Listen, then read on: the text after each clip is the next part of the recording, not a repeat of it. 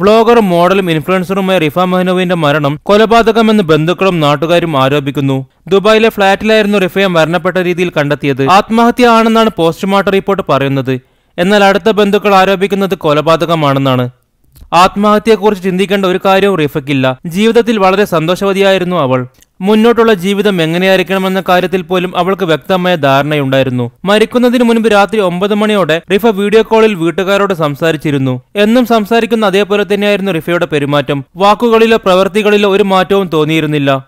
അവളുടെ ജീവിതത്തിൽ ഒരു ചെറിയ വിഷമം വന്നാൽ പോലും അത് ഞങ്ങൾ വീട്ടുകാരുമായി അവൾ പങ്കുവെക്കാറുണ്ട്. ഇത്രയും സന്തോഷകരമായി ജീവിതം മുന്നോട്ട് നയിക്കുന്ന റിഫ എന്തിനീ കടുകയും ചെയ്യണമെന്നുള്ള ചോദ്യങ്ങളാണ് ഉയരുന്നത്. ആയതിനാൽ തന്നെ ഇതൊരു കൊലപാതകമായിരിക്കുമോ എന്നുള്ള സംശയം ബലപ്പെടുന്നു. കൂട്ടുകാരോടൊപ്പം പുറത്തുപോയി വന്ന മഹനാസ് തിരികെ റൂമിലെത്തിയപ്പോൾ റിഫയെ തൂങ്ങിയ നിലയിൽ കണ്ടെത്തിയെന്നാണ് ബന്ധുക്കളെ അറിയിച്ചത്. അതിനുശേഷമായിരുന്നു ഇത് പുറം ലോകം അറിയുന്നത്. റിഫയുടെ മരണവാർത്ത ബന്ധുക്കളെ പോലെ തന്നെ നാട്ടുകാർക്കും ഞെട്ടലുണ്ടാക്കുന്നതായിരുന്നു. റിഫ ഒരിക്കലും ആത്മഹത്യ ചെയ്യില്ലെന്നാണ് ഇവർ പ്രതികരിച്ചത്. വരും ദിവസങ്ങളിൽ സത്യം പുറത്തു വരുമെന്ന് തന്നെ കരുതാം.